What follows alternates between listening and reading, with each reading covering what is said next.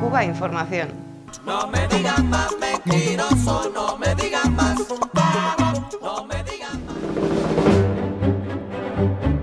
Para impedir que remonte el turismo de Cuba, el gobierno de Estados Unidos no solo ha diseñado sanciones y acciones específicas, además, su política cuenta con una red colaboracionista que presiona y chantajea a personas y compañías de todo el mundo. Por ejemplo, las empresas hoteleras españolas con inversión en la isla no solo sufren un ataque judicial sin precedentes, con decenas de demandas amparadas en la ley Helms-Burton, Además, son blanco de planificadas campañas de desprestigio.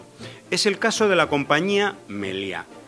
Organizaciones anticastristas la acusan en medios y redes de ser cómplice de la dictadura y financiar la supervivencia del régimen cubano, y exigen que suspenda cualquier nueva inversión o actividad en la isla.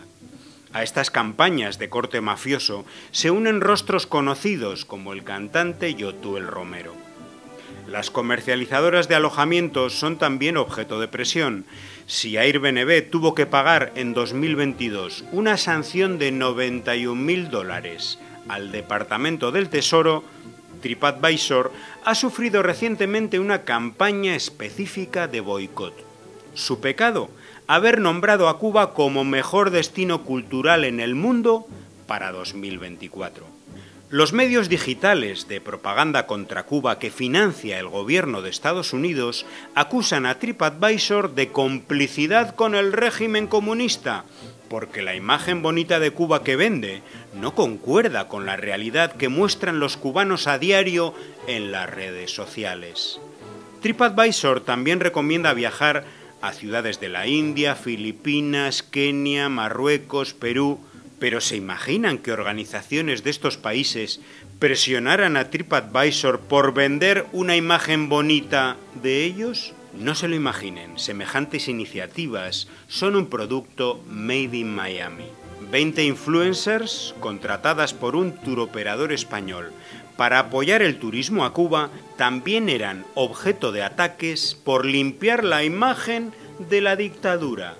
Cada centavo que entra es para la élite de Cuba, para el gobierno. Nadie del pueblo se beneficia con el turismo, solo el gobierno, el presidente y la élite, decía la youtuber pro-yankee Dina Stars. ¿Creen ustedes que se atrevería a decirle esto en su cara a quienes viven de arrendar habitaciones a turistas o a quienes trabajan en los hoteles de la isla? El exboxeador estadounidense Floyd Mayweather o la actriz española Carlota Boza, que viajaron a Cuba con el mismo objetivo, también eran increpados. Eres un instrumento en manos de una de las dictaduras más despiadadas de América Latina, acusaba a Boza el actor Roberto San Martín, instigador de la campaña No Travel to Cuba y partidario confeso de la intervención militar de Estados Unidos en su país de nacimiento. Además de que los ingresos se los queda el gobierno, la campaña contra el turismo lanza otros mensajes no menos mentirosos. Por ejemplo, que en plena crisis el régimen invierte más en turismo que en alimentos o que en salud.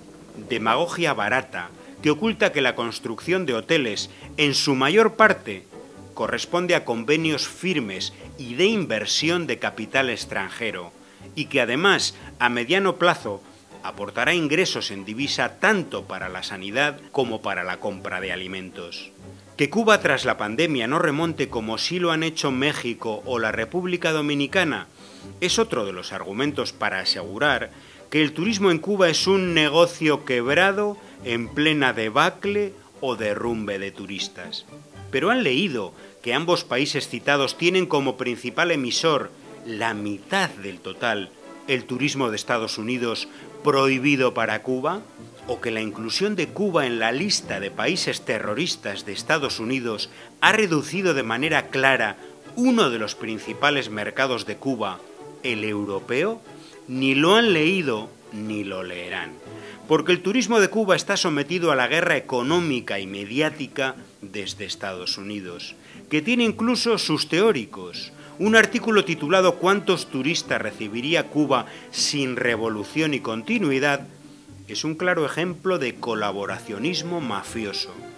Sin tiranía totalitaria, millones de estadounidenses irían a Cuba, porque el embargo no es contra el pueblo. Si hubiese un Estado de Derecho y una economía de mercado, la industria turística sería privada y no habría ley Helms-Burton. Pero no habrá turismo en grande hasta que los cubanos disfruten de plena libertad. Y punto. Se lo traducimos. El turismo de Estados Unidos está prohibido por el bloqueo.